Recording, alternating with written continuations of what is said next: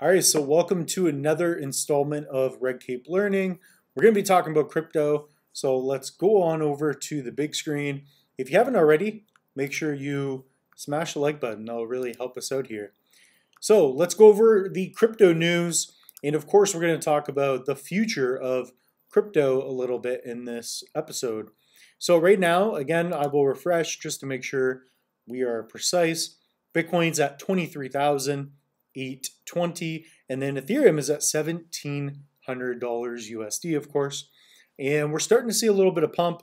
If we look at the 24 hour let's see what's in the lead here. So yeah it looks like um, internet computer so ICP I mean this was up quite a bit. This has fallen a lot since its high but if you look even at the week we've got some leaders like OP I haven't researched this project yet. There's a lot that you know, kind of our up and coming projects that, you know, because there's such a low market cap, I, I just don't really have a lot of interest. Um, but anyways, Qtum, not something that I own, but anyways, something that, um, you know, I've, I've been following for a little bit um, and definitely very interesting. So yeah, these projects are the ones that are doing quite well. Filecoin, Winklevoss Twins, they were an early supporter of that project. Um, but again, the top projects that I invest in, um, Polygon Matic Layer 2 solution for Ethereum, Bitcoin, of course, the digital gold, um, the biggest decentralized network we have in the world, and then my favorite proof of stake project, Cardano. So Cardano should be up here, um, but we're sitting at number eight. Um, yeah, this is my number one project. You can stake. Um, there are tons of ISPOs. let me know if you, any of you, would like to see an ISPO episode on Cardano. I can show you how to stake your ADA and earn rewards. Um, and even if you want, um, I could do like a, a, monthly update showcasing the top ISPOs that I'm getting into. Um, because the purpose, at least for me, in the I guess the logical standpoint of Cardano is that you can leverage from you know a hardware wallet the coins that you already have on your private keys and then utilize your public key to stake towards pre-IPO tokens. Um, and then you could also get rewarded with, you know, um, you know NFTs and then their native token. So for example, Meld. So let's check that out here. We type in Meld, um, this was a project that I delegated 3,000 Cardano to. And then once this project launched, it was like 12 cents at one point. It's gone down. So even if we look at the one year, it was yeah, it was about here. So even 13 cents when I you know, whatever, well, like when it was at its high. But this was an ISPO. So actually, if I go to the bigger screen, it'll be easier for, for you all to see. Basically, I staked 3,000 Cardano into the stake pool. So every five days, I was rewarded with this token. And then I also got access to a free NFT as well. So that's definitely really cool. Um, let me know if you, any of you would like to see an episode on, you know, uh, you know, not not how to stake or buy NFTs, but how to get free NFTs. And one way is through ISPO and stake pools. So let's go through some news. Um, I try to, you know, find a couple articles. This was the only one that was interesting to me. Um, so again, today is Friday, July 29th, 2022. Um, I still think we're going to see, you know, an $8 Cardano by 2030. So it's not too long from now. Um, but this article, let's check this out. I don't like to read, but I do like the headlines, and I watch a lot of YouTube or podcasts.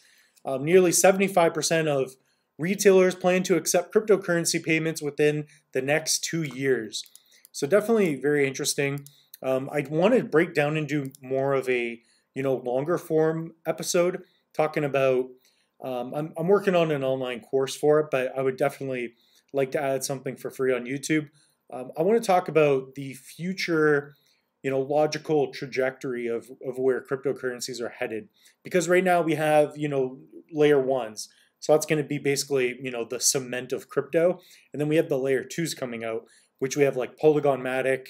Um, we've got, you know, layer twos like Meld on top of Cardano. Basically, we're building the infrastructure of cryptocurrencies, so Web 3.0. Um, but basically, to make a long story short, a lot of different businesses will begin to accept payments in cryptocurrencies, whether it's going to be, you know, um, a U.S. stable coin, which is fine, um, you know, or the Chi- Chinese stable coin, or you know, maybe even here in Canada, we might have, you know, uh, I don't know how we're gonna have a loonie on the blockchain. Um, maybe we'll figure that out somehow. But we will have a digital coin that's easy to track, but it will all be on the blockchain. It's going to be interesting because when you move over to you know businesses accepting crypto, um, I think that's only going to come at a time where it's easy to do, and that's going to be with the cell phone, right? Or beyond it. Maybe, hopefully, we're not using cell phones in five years. You know, again, we're 2022.